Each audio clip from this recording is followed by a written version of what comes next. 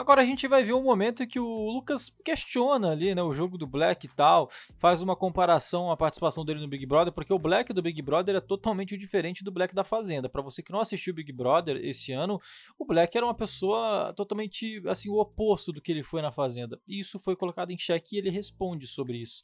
Ele vai falar em quem ele se inspirou. outro, eu também não ganhei. E quando eu saí, eu soube que teve um participante que era o favorito, que ele era completamente estratégico, sabe?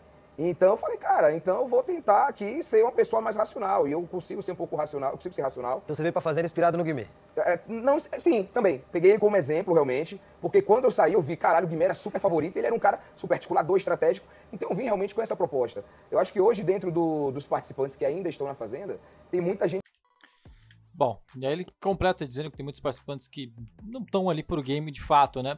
E de fato é uma coisa é verdade. O Guimê, é, por isso que existem diferenças, né? Que é a seguinte: o Guimê, apesar de ser muito estratégico, e de fato ele se tornou favorito por ser estratégico, até porque o Big Brother precisava disso. O Big Brother tem essa tendência a, a, a ter pessoas muito assim leves ali dentro, né? Então quando acontece de ter uma pessoa muito estratégica, o público gosta, mas desde que seja uma pessoa estratégica uh, na humildade e sem passar a perna em ninguém. Assim como o Arthur ganhou o Big Brother 22, certo? Então uh, o Guimê tinha isso de ter essa humildade. Ele não ficava assim fantasiado quando as coisas que ele pensava dava certo. Como o Black ficou.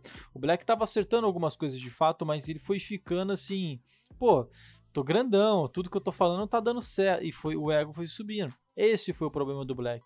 O problema não é ser estratégico, né? A galera às vezes fala, ah, joguei, fui jogador demais, isso me tirou. Não.